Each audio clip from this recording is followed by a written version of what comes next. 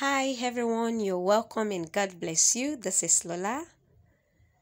The Lord gave me this word for you. It says, Before a need arises, He will make provision.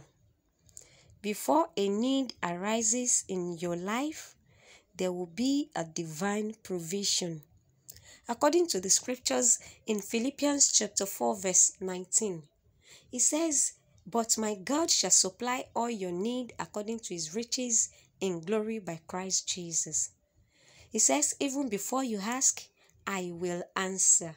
And according to his word, I'm praying for you that my God will fill you until you are full, your every need according to his riches, in the name of Jesus.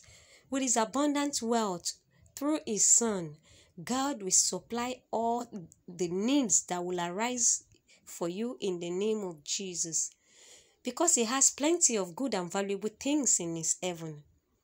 And because you belong to the Lord, he will give you everything that you need. I am convinced that this God is a caring, providing God for his children. He will fully satisfy you in the name of Jesus.